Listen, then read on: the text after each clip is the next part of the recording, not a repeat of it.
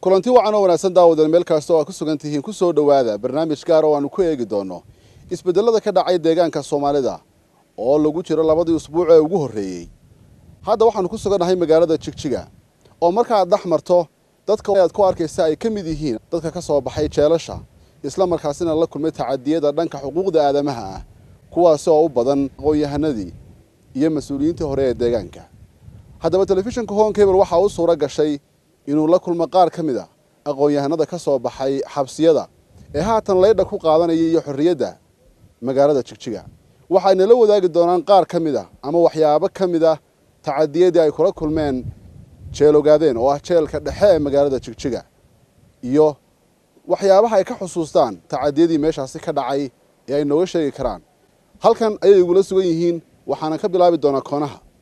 Ani magacayga waxaa la dhahaa cabdikhadar cabdulaahi cabdi marka hore waxaa mahad ilaahay ayaa iskale u sugnaatay marka xigta waxaan u mahadnaqayaa dowladda federaalka iyo gaar ahaan doctor abi isbedelada uu keenay. Sidoo kaleeta waxaan mahad ugu celinayaa halkan ama aan ku soo dhoweynayaa madaxweynaha cusub mudane mustafe maxamed cumar. Ilaahay baa mahadala maanta in macnaha aan leedha hawe ku qaadanayo anigoo muddo afar sana ah ku xidhnaa xabsiga jeelogaadeen dhibaatooyin fara badanna liigu soo mariyey dhibaatooyinkii liigu soo mariyey haddaan qaar ka mid a aan sheego waxaa ka mid ahaa waxyaabiya ugu daraa in qol yar oo suuli ah oo hoostiisa suuli yahay istaaggan aadan istaagi karin taagnida fadhina aan jirin oo yaa allah ugu taagnaanayso in macnaha aan ku jiray muddo afar bilood ah aniga shakhsiyan keliya saaxiibtay oo kaleeta oo ilaa soddon iyo laba qof aan ahayna qol yar oon toban qof qaadayn aan ku jirnay muddo lix bilood ah.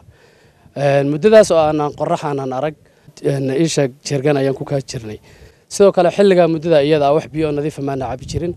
Waxaan cabi jirnay muddada lixda bilood ahaa biyaha gidhibka biyaha gidhibka biyo gidhibka la dhaho oo aad u wasakhaysan run ahaantii. Muddadaas oo aad afka noo dildilaacay dhibaato fara badan ayna soo gaadhay. Annaga oo meeshaas aan ku sugneen wiil iyo sodogii ay ku jireen. Dad fara badan oo ehel iyo qaraabaha ay ku jireen. Aniga waxaa la soo daayay hadda dadkii u dambeeyey waxaan ahaa dhallinyaradii u dambeysay ee xilligii uu ogaaday inuu macnaha meesha uu ka tegahay ee wakhtigiisu u dhammaaday. Uu yidhi meesheena loogu imaanin baan ka mid ahaa ee uu ka soo baxay meesha ka soo daayay ayaan ku jira aniga. Maxaa lagu sababay xadhigaaga hore.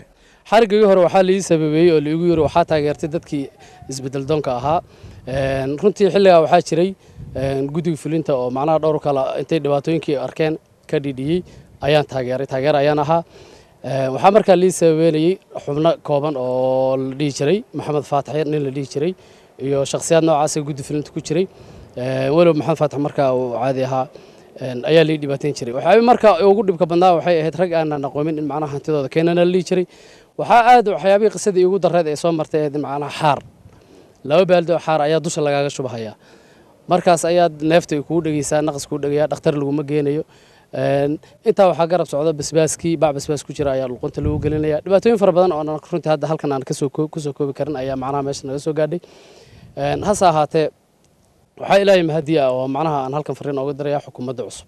Xukuumadda cusub waxaan leeyahay dhibaatooyin fara badan baa deegaanka tobankii sane u dambeeyey ka soo dhacay. Marka waxaan leeyahay yeenan insha allahu tii hadda ka hor dhacday in aan wax ka baranno waana soo dhaweynaynaa xukuumadda cusub. Isbeddel inay keeni doontaan insha allah waan rajaynaynaa waana waxaa hadda deegaanka qabsaday madaxweyne cusub oo daayar oo ah nin macnaha wax bartay. Waad mahadsantihiin okay in horaan ugu soconayaa dhammaan aqoon-yahanada meesha igula sugan walaalada magacaaga ku bilaabaya. Magacaygu waa injineer maxamed mukhtaar waxaan ka mid ahay dhallinyarta aqoon-yahanka ee xabsiga jeelogaadeen ama xabsiga dhexe ee magaalada jigjiga ku jiray. Intaan meesha ku jirnay waxyaabo badan oo dhibaatooyin badan wayna soo mareen. Maantas alxamdulilah hawadan ka cabinaa magaalada jigjiga.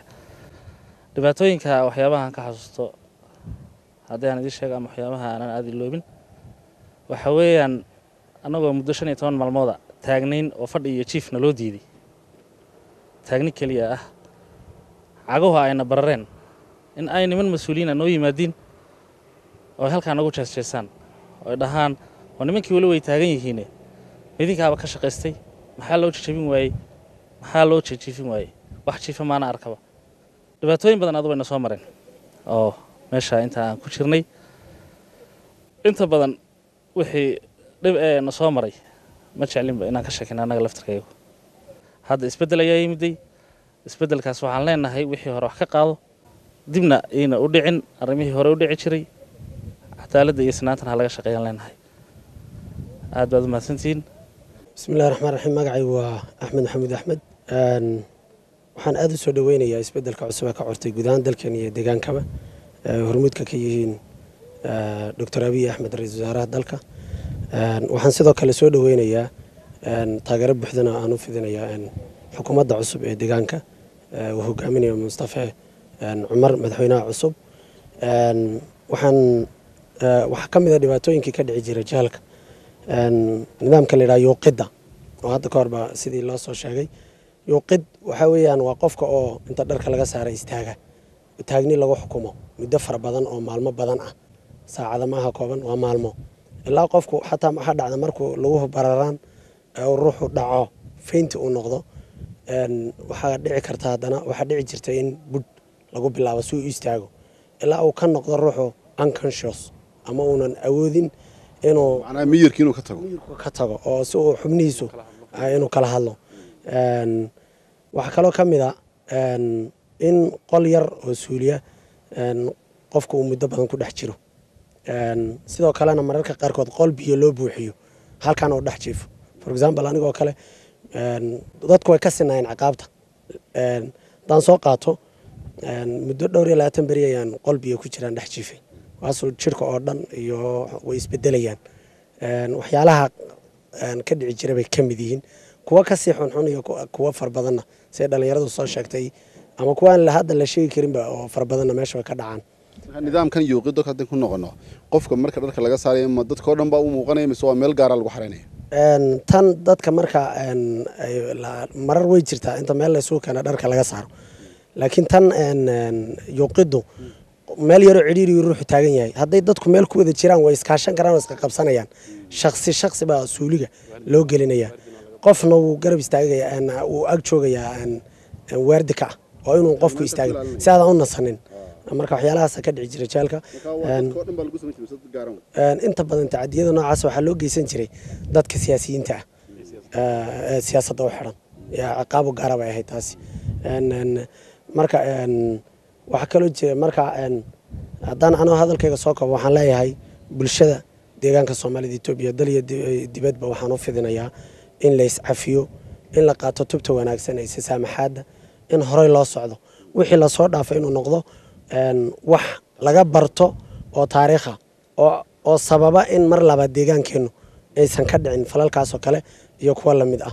Marka waxaan leeyahay xukuumadda cusubna in ay maaragtay bulshada ra'yigeeda qaado shacab weynaha dhex gasho in ay barato waxyaalihii hadda ka hor keenaya nidaamka in dalka laga yaaco in dadku maaragtay ay maaragtay fikir fiican ka qaadan waayaan dowladda iyo xisbiga talada hayaba sidoo kale xisbiga talada haya waxaan ugu baaqayaa in maaragtay aqoon-yahanka iyo dhallinyarada da'yarta shaqo abuurkeeda ka shaqaysiintiisa wadanka nabadeyntiisa inuu xisbigu isbeddel dhab ah ka sameeyo. Waxaa la odhan karaa idinka waxaa idinku filan dee in isbeddel dhacay ummaddii taariikh cusub ay bilowday. Markaa dib uma raacaysan idin soo gaadhay waxaan qabaa anigu oon cafis u fidinayaa dhammaan deegaanka soomaalida. Intii dhibaatadii maaragtay soo gaadhay aniga shaksi ahaan iyo ma garanaysaa bulsho ahaanba. Waxaan leeyahay iscafiska ayaa dhaama in dib laysula faguro sidoo kale waxaan aada ugu faraxsanahay in maanta xorriyad iyo hawe macaan aan ku noolahay. Waana waxa ugu muhiimsan isbedelkana waxa ugu koowaad faa'iidada weyn oo hadda keenay waxaa kow ka ah in qof kasta uu dareemo xorriyad maskaxeed ama xorriyatul qowlka waxa la dhaho oo free expression qof walba isticmaalayo. Ma ay dhici jireen in saxaafadda localka ah in laga hadlo caalamiin iska badaa ama cross border ka timid sida home cable oo kale. Marka waa mid maaragtay waa waxaan aada ugu faraxsannahay male waad mahadsantihin anigu waxaan ahay ismaaciil ibraahim buurgaabo. Dareenkayga ma cabiri karo. Mararka la rabo in laga sheekeeyo tacadiyadii ka dhacay cabdishakuurow jeelogaadeen waraysigan laguma soo koobi karo. Shakhsiyan anigu saxafi baan ahaa. Weligii dadka deegaanka ummaddan deegaanka ee jecel uma adeegin. Waanan ku khasbanaa inaanan u adeegin. Laakiin waxaan rajaynayaa nolosheeda inta ka dhiman. Shaqada igu muhiimsan ee qaban doono waxaa weeye inaan la wadaago dadka. Dhibaatooyinkii halkaa ka dhacay. Maxaad uga jeedaa dadka umaan adeegin waana laygu khasbay maxaad uga- jeedaa? Waxaan ka hadli jiray s t v waxaan ka shaqayn jiray. Waxaan wax ku qaban jirnay waxay ahayd rabitaanka hal qof madaxtooyada ayaa stuudiyo noo ahaa. Aniga gaar ahaan ii ahayd. Een, dad yaabo badan oo iga mudnayn oon waxaa weeye siyaabo khaldan oga hadlay baa jira. Aflagaadooyin badan oo khasab nagu ahayd baa jirta. Ummaddu aadiga waxaan ka wadaa haweenayda hooyaday oo kale ah ee degmada ku nool ee health centerka loo sameeyey hadday tiraahdo waxaana loo sameeyey xarun caafimaad. Waxaan u baahannahay ceelkii biyaha ceelkii biyaha waan jarayay dee. Soo baahi ma aha intaasaan qaban kari waayey maxaan bulshada ugu adeegay? Uma adeegin. Weligii wax uma qaban. Haddaan taa ka soo laabto anigii asxaabta noocan oo kale ila mid ah dhallinyaradii siyaasadda u xirneed ee oon alif kuwii al-shabaabta aan ahayn al-shabaabta laga dhigay dhammaan waan wada dhibanayn. Halkaasaan ku walaalownay. Dhibaato badan baa na soo wada martay. Raggan kuu jeedo waxaad xamatay nin baa waxaa loogu xukumay shan iyo toban sano ayagoon maxkamad la keenin oo qol sideedaad la yidhahda iyo caqabadaha meelaha la yidhahda warqad loo keenay. Shan iyo toban sanaa lagu xukumay. Sidoo kale tiro intaa leeg aniga laigu xukumay. Hal maalin anoo weliba waxaa weeye loodaya anigii maxamed mukhtaar intana la keenay maxkamad jilood xidhan. Marka dhibaatooyinkii ka dhacay meesha. Waxaa ka mid ahaa toorjar loo geystay ama jirdil loo geystay. Jirhkan aad u jeedid. Waxaana loo geystay jirdil maskaxayd ya waxaan soo koobi kara ma ah marka ugu horreysee meesha lagu geliyo budhka kugu bilowda iyo caqabadda kugu bilaabata iyo biyaha kugu bilowda iyo bacda kugu bilaabata ayaan afartii sane u dambeeyey. Marka laga reebo intii ugu dambeysay komishinka cusub hadda la keenay ayaan ku soo jirnay. Qabowgii la soo dhaafay hadda hidhaar maskaram ilaa hidhaar qol cidlo ah oo sideedaad ah ayaan jiifoo biyo liigu shubayey. Waxaana jajabay waxaa weeye lafa badan waan adkaysanaynay winiyu waxaan ogeyn one day in isbeddel uu imaanayo. Inaan ka daba tagna halkan uma soo taagnin. Laakiin dhibaatadii dadka gaadhay annagu waan noolnahay dad badan baa waxaa weeye dadkay jeclaayeen la'aa. Waxaan rabnaa inaan halkan kala wadaagno dhibaatada heerkay gaadhsiisanayd waxaad qarsataa aduu ku dhibaya. Bulshada deegaanka waa loo soo bandhigi doonaa. Jeelogaadeen wixii ka dhacay waa wax lagu qiyaasi karo un fiction un bugaagtii la qorayey ee dhibaatooyinka jeelasha laga qorayey iyo filimaantii la samaynayey ayaa si practical aan u aragnay. Gidhibka meesha la yidhaahdaa la jiray habeenkii. Habeenne annagoonan nabad ku seexanin baan garanayaa saddexdii sane u dambeysay bacaa madaxa la isku gelinayay. Dad aanan technically garanaynin toojarka ayaa kula soo bixi. Fuustooyin biyaha lagu dhaamini. Ninkaygan intaa leegba inta la qabtoo la foorriye madaxa loo gelini. They don't know secondiska iyo minutiska aan anigu ma neef baan qabaa. Garan mayaan. Two times baan kooma galay. Liimadda weynin sankii afkan dhiig ka keenay. Ragaan ahaa waan u adkaysanayey ya? Hooyaa ay dhashay. Waxay ku sugnayd ilaahay unbaa ogaa caafimaad darrada la soo hojaad ilahay wuu dhintay baa liili mana la arkaynin tacsi baa la ii dhigay aniga. Waxaasoo dhan waan ka soo gudubnay. Waxaanan weligay ilaaweynin gabar aanan magacayga garanaynin magaceeda aanan garanaynin oo meel laigu ciqaabayay meel ku dhow ka qeylhiisay oo lahayd walaalow lambar sideed waxa la yidhahdaa la isku xidhaa labadaada suxul baa la isku keenayaa xabadkaasaa lagu istaajinayaa. Sidii aniga la ii gelayaa gabadhaa loo gelaya alla walaalow alla walaalow naasaha iiga qaad sibidhkay lahayd sibidh qabood toddoba saacoo habeennimay ahayd. Gabadha magaceeda ma garanayo laakiin marna ma ilaahu daawad ismaaciil wuxuu ka mid ahaa dadkii afarta sano ku xidhnaa meesha ee wax badan qiyaasi karayey waana dareemaysaan kolley xaaladda markuu dib u xasuusto inuu ka baxayo xaaladda caadiga ahayd. Annagoo mar walba ka raali gelinay inaanu dib u xusuusino xaalada noocaas oo maadaama isagu wariye uu ahaa waxyaabo badanna ay u muuqan karayeen. Marka waxaan jaanistin doonaa inuu soo noqdo marar badan oo aan la sheekaysta wuxuu ii sharaxay inuu waxaasi oo dhan uu kaga gamayo nidaamka maanta uu- jigjigo u joogo iyo xorriyadda iyo neecawda uu qaadanayo oo aanay macno badan u samaynaynin in lagu noqdo laakiin uu ka digayo taariikhda mar labaad inay soo noqoto waa sida uu ii sheegay marar badan oo aan si gaara ula sheekaystay. Hore ayaynu u sii socon doonaa daawadayaal intay hadhay aqoon-yahanada ayaynu weydiin doonaa. Bal xaaladda waddanku imika uu galay deegaanku iyo sidoo kale dareenkooda see u cabiri karaan. Kusoo dhawaa magacaada bismi illahi raxmaan raxiim magacayga waxaa la yidhaha halgan xasan axmed. Marka koobaad waxaan jeclay inaan mahadceliyo eh, bahda warbaahinta ee horni cable oo fursad noo siisay inaan maanta erayo kooban oo ku saabsan tacadigii faraha badnaa ee ka dhacay deegaanka soomaalida etoobiya gaar ahaan jeelka ogaadeen aan halkan ka idhaahno marka xigta waxaan halkan ka soo dhoweynayaa isbeddelka guud ahaanba ka dhacay etoobiya kaasoo sababay in deegaanka soomaalidana uu isbeddel ka dhaco. Waxaana halkan uga hambalyaynayaa madaxweynaha cusub mustafe maxamed cumar oon leeyahay. Dalkaagii baad timid dadkaagii baad u timid. Waxaanu ku leenahay soo dhowow. Marka xigta mm, saaxiibaday ayaa ku dheeraaday. Tacadigii faraha badan faraha badnaa ee ka dhanka ahaa xuquuq- xuquuqul insaanka ee ka dhacay een, jeel jeelogaadeen Een, waxaa laga yaabaa haddii waqtigu inuuna nagu sameyn baa suurtagala inaan ka sheekayno adiga horta goormaa lagu xidhay maxaase lagu xidhay aniga waxaa la xidhay in 2015 january 22 baa la xidhay.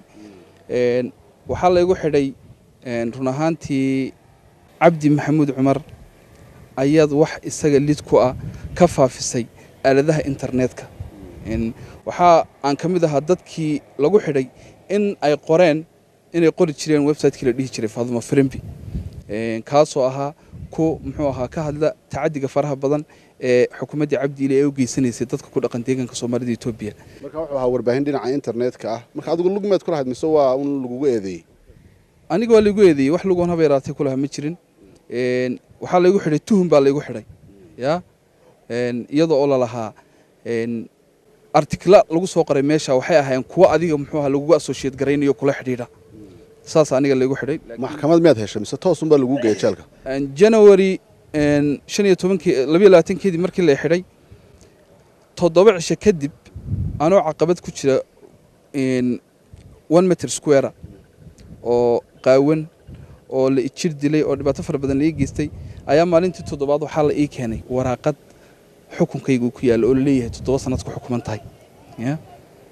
Waxaba yaraatee lay horgeeyey oo sharciga ma jirin nidaamkii saxda ahaa ee maad garanaysaa procedurkii legalka ahaa maana marin xukun baa la ii keenay. Waxaa la yidhi intaasaad ku xukuman tahay. Waxaba yaraatee dembiyahoo laigu soo eedeeyey oo laigu caddeeyeyna mayna jirin. Run ahaantii annaga way xidhiga anagu ka duwanaa xidhiga dadka kale. Een, dad siyaasadu xidhan baanu ahayn. Maxaabiista annagu markiiba nalaguma darin. Annagu markii nala soo xidhay ciqaab baa naloo bilaabay. Ciqaabtaasaan muddo dheer ku jiray. Ya? Runtii markii ugu horreysay waxaan xususanayaa hal sano maanan qoysaskanaga arag. Meelaanu ku sugannahayna mayna ogeyn Een, shaadh iyo garamadiina lagu soo reebay ee nalagu xidhay ya? Waxaana weligay iloobin. In jirtii nagu gashay ma iloobi weligii toddoba bilood maanaan jidhka maydhanin ya? Toddoba bilood jidhka maanaan maydhan in jirta saasaan isaga guri jiray saa ya? Ilaa markii dambe ay jidhkanaga intuu alerjik wada qaaday ay jidhkuna gogo'o heerkaasaan gaadhnay. Afartan nin baa ku garaacaysa. Intii lagu qooyo oo carre lagu dhexgeliyaa lagu garaacayaa marka waxaa laga yaabaa dadku run ahaantii inayna rumaysaninba. Laakiin arrinta xusitaanka u baahan waxaa weeyaan dhibaatadan iyay ku dhici jirtay. Anugu nin raga baan ahaa dhibaatada inay ugu dhacdana muxuu ahaa waxaan la mid ahaa dadkii kale ku dhacaysay. Laakiin dhibaatadan oo kale dumar bay ku dhacaysay hooyooyin bay ku dhacaysay marka waxaa la dhihi karaa inay nin raga ku dhacdaa dhibba ma laha. Mar haddii aad aragto iyadoo hooyadii ku dhacaysa dhibkan oo kale. Anugu waxaanu goobjoog soo ahayn gabadh wiil ku dhashay haddana gabadh kale ku dhashay. Waxaa kaloo laga warramaa inay dhimasho baahsan jirtay dad badan ku dhinteen cudurrana waa la sheegi jiray oo warbixinaha xuquuqda aadamahu ay qodi jireen. Adugu indhahaaga maxaad ku aragtay? Anigu indhahayga waxaan ku arkay een, meesha dadku aad bay ugu badnaayeen. Xilligaanu annagu gallay. Waxaa ku xidhnayd dad aan ku qiyaasayna shan kun iyo lix boqol oo qof. I mean markii la xidhay weeyaan aniga. Waxaa laygu xareeyey guri la yidhaha toddobiyo tobnaad toddobiyo tobnaad markaan saa u galay waxay ahayd arrimihii iigu la yaabka badnaa. Gurigaas waxaa weeyaan qiyaas ahaan markaan qiyaasno waa eight alif metr weeyaan. Waxaa deganayd laba boqol iyo konton iyo toddoba qof. Kabasitiga muxuu ahaa xabsiguna waxaa loogu talagalay siddeed boqol oo qof waxaa weeye inuu accommodate gareeyo. Cidhiidhi heer kuu gaadhay gurigaas. Yaan tusaale ahaan u soo qaadaya ma aha muxuu ahaa kuwa ka daran baa xitaa jira. Laakiin marka dadka waxaa loo sameeyey nin seexiya.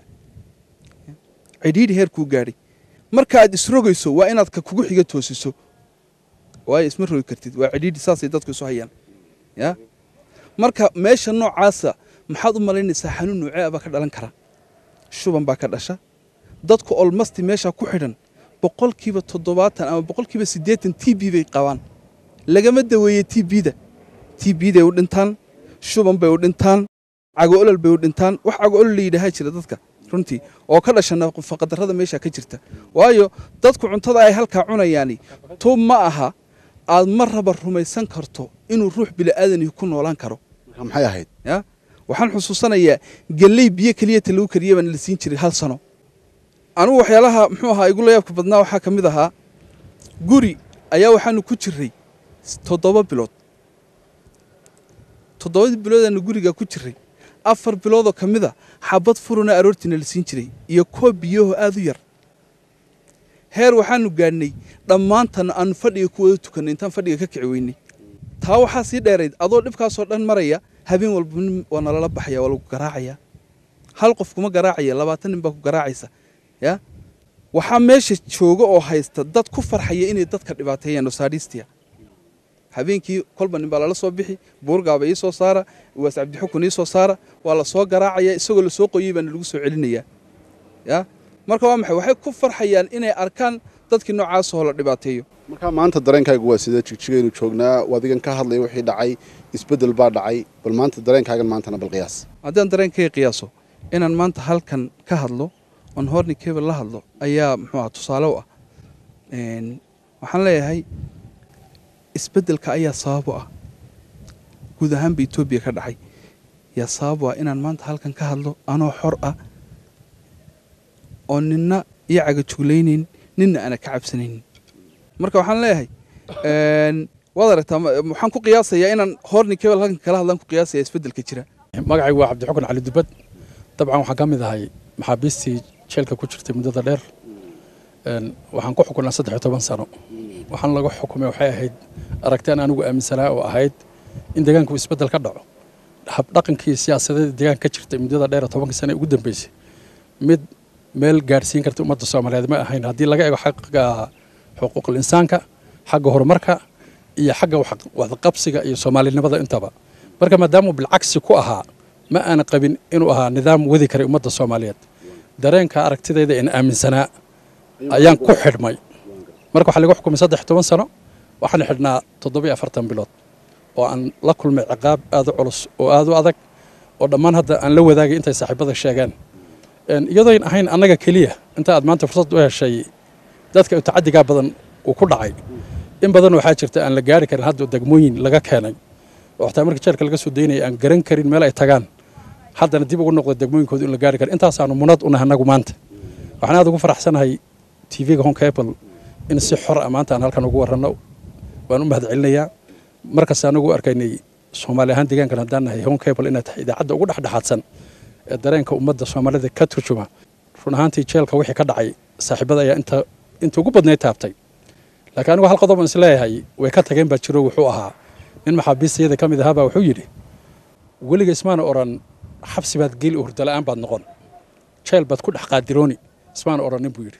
Taa waxaan kaaga jeedaa ruuxu markuu xabsiga galo ruuxa caadiga ee basharka ah in ruuxaasi dembigu galay uu xidhan yahay oo halkaa in lagu hayo asluubtuna ay ammaano ciidanka asluubta ammaanadii loo dhiibay inay hayaan inay tahay iyo ruux kas ku fikiri. Laakiin ciidanka asluubta waxay noqdeen ciidan u samaysan dad garaac bahdil shirdil kufsi iyo baabi'in shacabka halkaa loogu geeyo. Waxa ugu daran marka waxay ay ka tageen saaxiibada waxay ahayd ruuxu markuu jeelka galo inuu hurdo la'aan uu noqdo qodobada asaasiga ah ee maxaabiista loo geysta ayaa ka mid ahayd. Marka waxaan halkan ku soo koobi karaa maaha wixii jeelka ka dhacay. Isbeddelkii aan u xidhannay inuu ka dhaca deegaanka alxamdulilah maanta waa uu dhacay. Halkan aan taagannahay nacaawdan iyo bannaan iyo xornimadu macaanka leedahay annagaa maanta garanayno walaalaha soomaaliyeed ee kale waxaanu leenahay isbeddelkan waa kaanu u soo dagaalanay waa kaanu xabsiga u gallay dad badan ayaa jeelka ugu dhintay. Tii isbeddelkii maanta haddaynu helle waa inaynu ilaashanno. Waxaan sidoo kale halkan uga hambalyanaya madaxweynaha cusub mudane mustafe maxamed cumar. Waxaan leeyahay halkan aan maanta soo gaarnay dadaal wada jira ayaa lagu soo gaaray. Ummadda soomaaliyeed waxay u baahan tahay cadaalad in loo falo. Cadaalad ayaa deeqi karta dadkoo dhan. Cadaalad markay yidhahdaan ummadda soomaaliyeed mar walba waxay u yaqaanaan kuraasta marka la qaybsanayo laska wada dhaxarko taasi ma aha laakiin cadaaladda taasoo keliya ma aha. In ruuxa dhibanaha ah inta badan maxkamaddu waxaa isku dacweeya ruux dhibana iyo ruux mataqaanaa iyo ruuxii wax dulmay. Labadaa ruux waxay u baahan inay helaan cadaalad justice iyo judiciary impartiality waxa la yidhaahdo in ay garsoorku iyo cadaaladdu ay dhexdhexaad noqdaan oo ruuxu garsoorka adaa yaqaan in hebelo kaale i raacdi jiri jirto kale inaan jirin. Waxaa matalan waxyaabaha tacadiga ugu badan ee deegaanka dhac waxaa ka mid ah ruux dhibana ah oo lagu xukumay sanad oo gadaal qalin laga darhayo sanad baa la- laba sana la xukumi eber baa lagu dar labaatan sana ka dhigan tahay sanad baa la xukumi eber baa lagu dar toban sana ka dhigan tahay marka ayaa bedelaya ee, qalinka ku daraya waxa bedelay waa booliskii loo geeyey warqadaas ee jeelka geynayay ruuxii waxaad arkaysaa muddadii maxkamaddu waxay noqotay one way way ku xukumi kartaa. Markay ku xukumaysana waxaa weye imsaan ka dhignaa waa inay mas'uuliyiinta ku tiraahdo iyadoo ahayd hay'ad garsoora oo inay gooni u taagnaata ahayd. Imsaan ka dhignaa xukunka. Waxaa lagu leeyahay marka cabdi waxaad uga dhigtaan toban sano. Tobankii sano xitaa haddaad halkaa iyada aad ku dhammaysato damaanaddii ma haysatida inaad ku baxayso. Waxaa ula jiray waraaqo hiib ah oo la eg barkin dad xabsiga maxkamadda intay soo qorta xabsigooda u dhamaada la soo daalilay laakiin ma ayna socon. Marka one way bay ahayd. Wax cadaaladda loo baahan yahay dadka grassrootka ay u baahan yihiin. Laba ruuxoo beer isu qabsato waa inay cadaalad hesho. Waa inuu xeeraalantu cadaalad ka helaan waa inay booliska ka helaan waa inay maxkamaddii ka helaan. Cadaaladda aas-aaska deegaanka maanta u baahan yihiin waa middaa weeyaan marka madaxweyne waxaan leeyahay cadaaladda noocaas waa inuu aas basically waa in reforms lagu sameeyo. Judiciaryga justice systemka deegaanka ka jira awalan waa in lagu sameeyo. Saasaan qabaa. Dad badan waxay sheegaan sanadihii la soo dhaafay marka si kale loo dhigo in dadkii aqoonta lahaa iyo dadkii bulshada hormuudka u ahaa dadkaasoo dhan la wada xidhay. Marka jeelka sidaa u eegto miyay kuu muuqanaysay dadkii bulshada labeenta u ahaa inay xidhan yihiin. Absolutely waa sidaad u sheegtay weeyaan. Intii garashada lahayd maxaa yeele nidaamkii markaa jiray baa wuxuu ahaa nidaam garasho diid ah waayo arag diid ah aqoon-yahan diid ah samad diid ah marka intii intaasi ay intaasi ku sifaysnaa o dhan jeelkay ku jireen. Dadka maxaad u diraysaa baaqe waa tan lagu baaqin in la iscafiyo. Marka cafiskuna dee badanaa wuxuu ka iman karaa dhinaca dhibanayaasha. Idinkuna dadkii dee u dhibtooday arrimahan jiraad ka ahaydeen. Maxaad ku baaqaysaa? Waxaan ku baaqayaa dunidan horumar lama gaarin haddaan iscafis una jirin. Oo mar walba dib loo gocdo wixii dhacay. Waxaa tusaale inoogu filan south africa. Nelson mandela toddoba iyo sano u xidhnaa inuu cadaalad helo dadkiisii isaguba. Markuu ka soo baxayna wuxuu yidhi waxaa inaga saari kartaa oon hore u socon karaa midnimo iyo inaan iloobno wixii hore jiray haddii aynan hadda anagu iloobin aynu noqono kugu isku bedela farxaddii iyo naxdintii waxay noqonaysaa un trendiga hore jira inuu halkay ka socdo. Marka waxaan leeyahay intaa ka bislaano kuwii shalay dhibaatadii inoo geystay walaalaheenno inta badan aan wax garanayn aan dhahno garasho la'aan baa geysanaysa. Wixii aabbaha u ahaa e t v waad ka daawanaysayno sharciga la horgeynaya dowladda federaalka gacanta ku haysa. Wixii ubiqliyoo dhan iyo waxyaabo kaloo badan inaan iska ilowno si aynu wadajir hore uga socno ayaan nidaamkeenna. Ayaan hore ku gaari karnaa. Midda kale waxaa jirta ummadda soomaaliyeed in badan baa isku mashquulshanayd kala qaybin baa lagu wada dhexdeeda. Federaalka waxaa nagaga dayacan sheer lion share oo badan oon ku lahayn. Waxaa nagaga dayacan mega projects ma- mashaariicda waaweyn ee dowladda federaalku ay ka wada dalkeeda. Ummadda soomaaliyeed weli wax quban oo ka soo gaari ma jirto. Waxaa loo baahan yahay xukuumad dooni karta wixii nagaga dhimana halkaa. Wasiirada federaalka naguma filla sheerkanagii ma aha. Tirada baarlamaanka aan ku leenahay federaalka taayadii ma aha. Dowladda federaalku waa dowladdii federaalka xafiiska federaalka markaad tagto waa inaad ka aragto qowmiyadahoo dhan oo ay weji federaal ay yeelato. Madaxweyne iyo maamul dooni kara wixii nagaga maqnaa xaggaas. Marka maxaa taa lagu gaari karaa shacabku isku duubni inuu la yimaado oo ay ku taageeraan dowladdan ay garab galaan yaanu ku heli karnaa oo ayna sidii hore jirta aynan lugaha qabsan innaguna aynu iscafino cafis guud oo qalbi ah waa inaan iscafino dhammaanteen. Annagaa tusaale idinku filan dhibka ugu badnaa baa nagu dhacay. Afartan toddoba bilood ba anu aan saaxiibaday la qabay dhibaato ka dhana xaquuqal aadamaha in badan baa ku dhimato aniga iga darayd intanada nool oon aniga ka mid ahay waxaan leenahay waan iska iloonay wixii isaga ahay dhacay aan iscafino si aan hore ugu soconno. Bismillahi raxmaan raxiim Ee, magacayga waa maxamed ibraan cabdulaahi Een, waxaan horta marka hore waxaan u mahad bahda warbaahinta ee home cable t v. Waxaan ka mahad dhallinyaradii inta badan ku xidhnayd jalogaadeen ee u xidhnayd magaraysaa siyaasadda ee layidhi dowladda. Bay ka hor yimaadeen. Run ahaantii haddaan ka sheekeeyo jeelkii iyo waxyaabaha ka dhacay. Runtii wax laga sheekeyn kara maaha lamana soo koobi karo. Inta badanna dee saaxiibadii baa taataabtay anu waxyaabaha ugu badan ee xusuusta igu reebaya waxaa ka mid ah inaan raggan taabanno is leeyahay mayna taabanin waxaa ka jira jeelka ee, god dheer ah hoos u qadan lix mitir. Tiir buu dhexda ku leeyahay dabool buu leeyahay waa albaab yar buu leeyahay. Kaasaa lagugu ridi. Markii lagugu rido lagaaga harmaa marka ayada wad qaawan tahay oo garan yar iyo waxaad qabtaa buume. Kadib waxaa la soo qaaday labaatan jirgan oo biyo ah ama labaatan baaldi oo biyo ah la soo qaaday waa lagugu rogay. Kadibna daboolkii baa lagugu xidhi adoo godkii uu ku muddaad bartaa ku noolanaysaa marka dhibaatooyinka haddii hadda jeelka ka jiray run ahaantii halasoo ha sheekeeyo waa adag tahay in laga sheekeeyo. Wax la soo koobi kara ma aha. Marka anugu waxaan ku baaqi lahaa in wixii dhacay wuu dhacay. Run ahaantiina waqtiga maanta jooga isbeddel baa waddanka ka cusub. In isbeddelkaas uu noqdo mid lala jaan qaado wixii dhacayna la iloobo. Midnamana la qaato soomaali maanta xaaladda lagu jira aad bay adag tahay. In magaranaysaay loo loo ambaqaa in si mid loo noqon lahaa. Hore loo socdo. Haddii la dhaho waxaasaa waagii gu dhacay ama waxaasaa gaadhay ama waxaasuu hebel igu sameeyey dee marnaba meel la gaari mayno. Waxay noqon in la isii jiito. In maalinba mid uu ma garanaysaa godkii aan shalay ku jirnay inuu ku jiro unbay noqon. Taa markaa muhiim ma aha. Marka waxaan leeyahay anu dadku ha iscafiyaan horena ha loo socdo. Midnamana ha la qaato waxaan halkan iyadana aan ma garanaysaa aan leeyahay aan uga mahad celinaya aan soo dhaweynayaa madaxweynaha cusub ee dowladdaanka soomaalida mudane mustafe oo aan leeyahay lafirkaaga tan maanta socota. Waa nin horta xogaalka oo deegaanka wax badan ma garanaysaa kana soo shaqeeyey xogaal ka ahun aaminsanahay inuu ka mid yahay dadka victimska ay dhibaatada deegaanka ka dhacday ay saamaysay. Waa nin muddo badan waddanka ka carara weliba ka maqnaa. Marka waxaan leeyahay dadkan waxaad deeqi kartuun cadaalad waxaad deeqi kartuun midnimo in loo sinaado marka waxaan leeyahay niyo soo dhowow ta labaad awoodda ha saaro. Dhinaca cadaaladda dadka cadaalad baa ma garanaysaa ay deeqi karta. Reform ha geliyo. Sistamka cadaaladda deegaanka uu leeyahay. Marka waxaan u mahad celinayaa t v-ga honkebel aad baad umahadsantihiin ana magacayga waa waxaa la yidhahdaa kajeel qorano sulub. Marka koowaad waxaan u mahadnaqayaa t v-gan honkebel marka anigu horta waxaan rabaa inaan ka hadlo. Anu siyaasi ma waxaan ahaa ururada bulshada. Ayaan u shaqaynayay marka dhibaatadu deegaanka waxay u saamaysay noocyada qaybaha kala duwan ee deegaanka dhan way way saamaysay. Maadaama systemkii jiray system dhibaato ku shaqaynaya uu ahaa. Anu waxaan ahaa gudoomiyaha ururka macalimiinta deegaanka. Titlekaygu wuxuu ahaa eh, Somali Region Teachers Association President. Macalimiinta aniga sis wixii lagu xidhay wuxuu ahaa lacag macalimiinta laga cunay oo dhannay toddobaatan iyo afar milyan iyo afar boqol oo kun. Lacagtaas waxay ahayd lacag la yidhaahdo erkin qofka shaqaalaha ah waxa uu xeerasoodka een, shaqaalaha uu qorayaa laba sano markuu shaqeeya in hal erkin ugu darmato kabacdi macalimiintii aniga aan guddoomiyaha u ahaa sagaal sano ma aysan helin erkinta anagu ayagoo ay shan sano ka maqan tahay baan nimid. Kabacdi lacagtii inaan xuquuqda raadiyaan isku dayey lacagtii shan waxaan soo sameeyey macalimiinta lacagta ka maqan toddobaatan iyo afar milyan iyo afar boqol oo kun markii aan dowladda hor dhigay ee aan weydiiyey.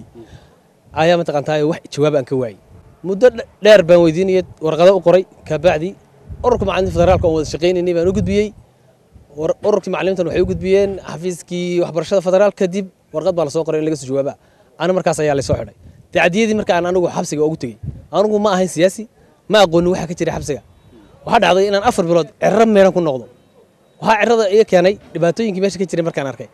Kow waxaa layla xareeyey dhurwaa xabsiga dhexdiisa ku jira oo qol yar ku jira.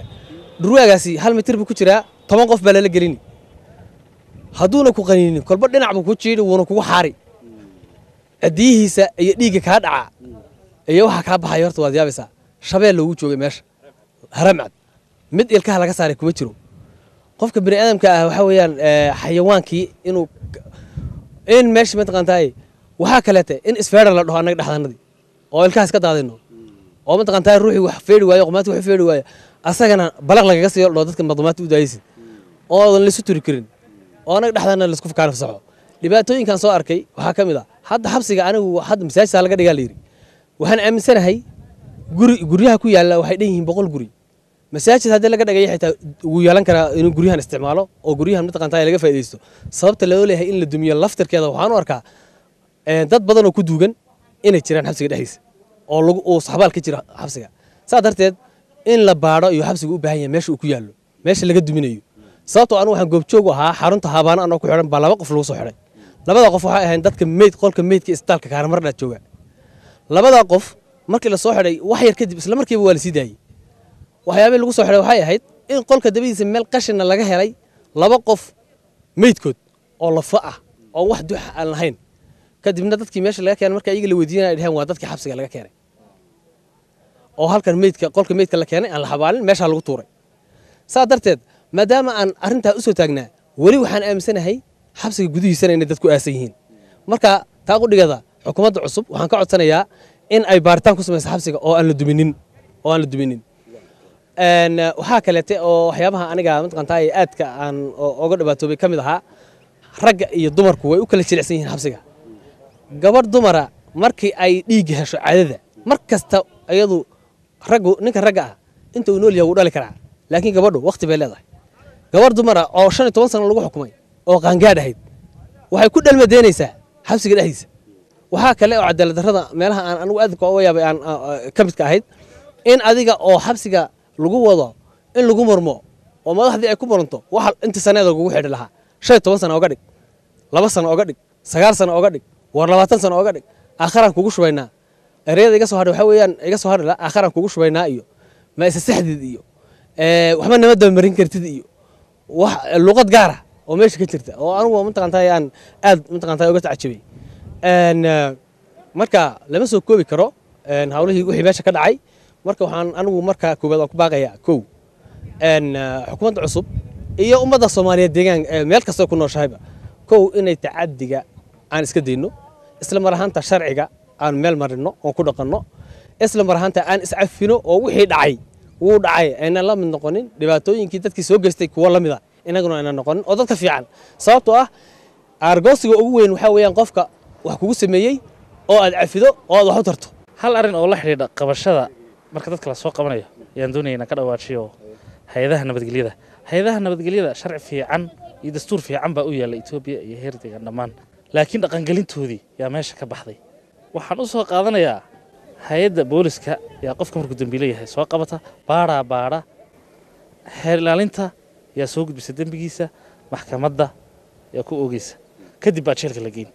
Shantaa hay'adood ee hay'adaha nabadgelyada la yidhaahdo dhammaan waxay ku soo koobmeen jeel ogaadeen. Qofka waa la soo qaaday jeel ogaadeen baa la geyn. Sidaada loo geeyana waxaa waxaa la dhahayaa isagii baa la dhahayaa dembi isku samee. Marka waxaan leeyahay hay'adihii nabadgelyada ahaa sidoodii iyo cadaaladii sidoodii lagu soo celiyo oo sharcigoodii ay ku shaqaystaan weye daawadayaal ismaaciil ayaan hadda ku soo celin doonaa oo markii hore xaaladii soo isbedeshay aan u dhaafay. Ismaaciil maxaad ku daraysaa? Waxaan ku darayaa intaasaan kaga gudbayaa dhibaatadii saaxiibaday baa sheegay oo dadka la wadaagay. Dhibaatooyin badan oo soo dhacay baa jirta. Inaan anigu waxaan aaminsanahay iscafiskaan aaminsanahay. Waxaan aaminsanahay waxaan u xidhnaa inuu ahaa waxbaan ka dhiidhiyey waxaan doonayey xorriyatul qowl. Waxaan ahanin saxafi siyaasi ma ahayn. Wixii maanta way ii muuqdaan. Madaxweyne cusub oo aqoon-yahana deegaanka yimid boqolkiiba boqol ayaan waxaan halkan ka caddaynaynaa inaan taageersannahay isbeddelkan yimid ee guud ahaan dalka etoobiya ka dhacay. Resistance wuu iska jiri karaa oo system baa la toban sano meesha soo haystay wuxuu samaystay selis buu samaystay. Dad ku dhex noolaa dulmigaas oo nacfi ugu jiraa jiray marka resistancegaas wax laga gudbi karo weeye. Iscafis baan aaminsanahay. Madaxweynaha laftarkiisa waa victim. Waxaan aaminsanahay inuu cafiska asaga noogu horeeyo annagana aan dabagalno. Dadkii wax noo geystay magaalada wayda joogaan salaanta waan ka qaadnay. Haddaan dib ugu noqonno wixiina lagu sameeyey ma karayna inaan samayno. Ya? Wixii cadaaladda iyo sharciga uu u gooyo dadkii dambiilayaasha ah waa halkeeda laakiin annaga ahaan cafis ayaa nala muuqdo. Isbeddel cusub ayaa deegaanka ka jira. Soomaalida waxaan ugu baaqayaa in badan buu deegaankan soo cadaalad la'aa. In badan buu waxaa weeye soo xuquuqahooda dadka lagu soo tuntay maanta afkay wada furanayaan. Waxaa horey u jirtay guux iyo guux garwaaqsiyo oo in la garwaaqsado waayey. Marka bulshadu way iska guuxi kartaa laakiin danta guud inay dadka gartaan oo waxa weeye tan shakhsiyadeed laga hormariyo. Madaxweynaha waxyaabo badan baa hadda hor yaalla. Dowlad loo dhan yahay inuu dhiso ka qaybgalka dhinacyada kala duwan interest groupska kala duwan inuu dhammaantood waxa weeye inuu qanciyo iskuma dayi karo oo ma samayn karo. Laakiin la tashigooda inuu qaato. Annaga aqoon-yahan ahaanna waxaan jeclaan lahaa in dadka aqoon-yahanka ah deegaankan inuu deegaan ku filan uu yahay. Aqoontooda inay dadku u adeegaan say doontaba ha noqoto inuu nagu filan yahay. Marka maanta nin aqoon-yahana hormuud noo ah aan daba istaagno aan taageerno kala tafararqu ma fiicna. Ummadda soomaaliyeedna waa ummad nabad jecel waa ummaddii deegaanka soomaalida. Waa ummadda waxaan ku ammaanayaa magaaladan jigjiga ayaa loogu talagalay inay noqoto meel hadda dimashik baa ugu darana dimashik oo kale ah waa la burburiyey. Waan dhabar adeegnay magaalada dhinacna ogamaysan kicin xoog iyo shacabka waxa wadaniyadooda magaaladii lagu furay ee hadda jigjigaadaad u muuqatay ay ku jirtaa. Dadaalka aad samayseen waa mid la og yahay. Kaas unbaad halkaa ka sii wadaysaan. Madaxweynaha loo tartiibiyo waqti transitiona lagu jiraa cid walba danteeda gaarkaa halkaa iska dhigto. Ya danaha siyaasadeed qof walba uu gaar yahay tan dadweynaha tan ummaddan soomaaliyeed in laga horumariya ayaan jeclaan lahaa. Cafiskuna laabuu naga yahay. Annagoo xabsiga ku jirna waxaan dhihi jirnay balniyahow sidii nolola dhaqmay waan aragnaaye sideen wax ku cafin doonaa. Marka haldoorkao dhan wuxuu lahaa markaan wakti helno umbaan anagu cafis ku dhawaaqi karnaa. Waktigii waan helnay maanta free baan nahay aad baad idinkuna ugu mahadsantihiin honkebal ahaan. Cabdishakuur adiga iyo asxaabtaadaba dareenka soomaaliyeed ee idan keenay halkan. Inaan idinla shaqaynana diyaar baan u nahay ummaddana waa idin jeceshahay. Saxaafadda xorta ah ee weliba dhexdhexaadka ah ee deegaanka aad looga jecel yahay ayaad tihiin soo dhowaadaan idin leenahay wakhtigaadna siiseen. Ummadda soomaaliyeed meel walbay joogto waan salaamayaa. Aad baad mahadsantihiin. Aad iyo aad ba daawad wala mahadsan yihiin waxaa ismaaciil buurgaabo uu ugu dambeeyey aqoonyahankaasi kala duwan ee aad soo dhegaysateen arrimaha ay ka warrameen ee ay ku dheeraadeen tacadiyadii xuquuqda aadamaha baalmarsanaa ee ay kala kulmeen xabsiga jeelogaadeen hase yeeshee farriimahooda ugu dambeeya marka loo fiirsado ay ka muuqanayso inay cafis gudahooda ah ay dareensan yihiin islamarkaasina isbeddelka cusubna ay raalli ku yihiin. Taasoo keeni karta inay ilaawaan waxyaabihii soo maray. Waa cabdishakuur day maxamed telefishinka home cable magaalada